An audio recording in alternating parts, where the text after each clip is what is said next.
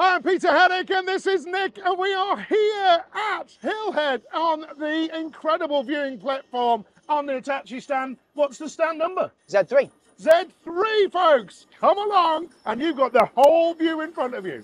So you can see you've got a great view from the stand here at Hitachi, but one of the feature machines you brought to the Hillhead show is right behind us. Tell me a little bit about the machine and why it's so important for the quarrying sector in particular. Yeah, so it's the Hitachi ZX530-7. It is a true quarrying machine built for quarrying and we're at a quarrying show. Indeed. Makes sense to bring it. Yep.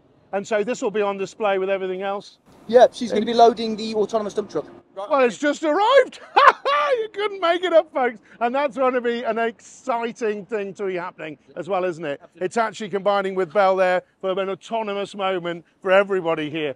And so the guys are just putting that into place. They will have nobody in it in, uh, when we next see it. Come on, now let's go and have a look at the rest of the stand. Come on. So, folks, what's really exciting here as well is we're part of a scavenger hunt, aren't we? Tell us a little about it for the Lighthouse Club charity. Yeah, ladies come round, so on all stands, she's been attaching these buckets to it. The idea is to scan the QR code on the back and it essentially puts you into a draw so you can win one. Fantastic. So, folks, that's the 130 Zaxis with a Leica machine control, 3D machine control poles on there at the it. back. Yep. So that's the one to look out for when you're just supporting the charity and can win dig. Ha ha! You get that one? So we all say look ahead when you're operating and you've got two eyes generally for your vision, but this is three eyes, isn't it? Tell me a little bit about it. So this is the triple eye system. It's been mounted to a ZW180-7. It's a human detection system. As you can see, it's picking us up on the screens there. Uses six cameras around the top of the machine, stitching the images together, just for additional safety. So in the cab, I can see this, so we can see the recording right now. Time for something new, come on.